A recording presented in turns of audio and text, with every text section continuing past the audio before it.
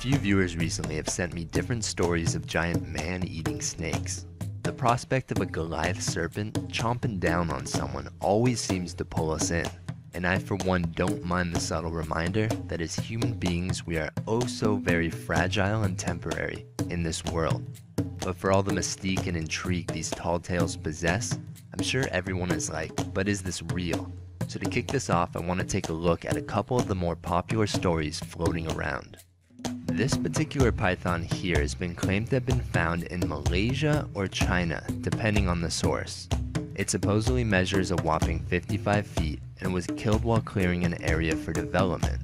One version of the story reports a human was discovered inside. When you look at the snake in comparison to the two guys in the background, it just looks massive, but it probably is a trick played on the eyes through forced perspective, as the people in the background are much further away. The depth of the bucket is likely somewhere around 3 to 4 feet deep, and the snake is maybe 5 times that size. So we're looking at a big 20 footer, but not quite as impressive as 55. And as for a human being inside of it, I guess we can only speculate without any definitive pictures to prove it. Another story revolves around this huge specimen sporting a thick belly. It's stuck under an electrical fence and is not a happy camper.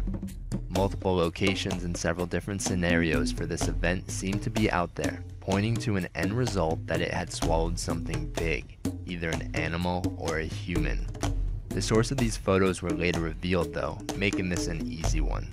The snake in question is an African rock python with an approximate length of 13 feet, found on a game ranch in South Africa.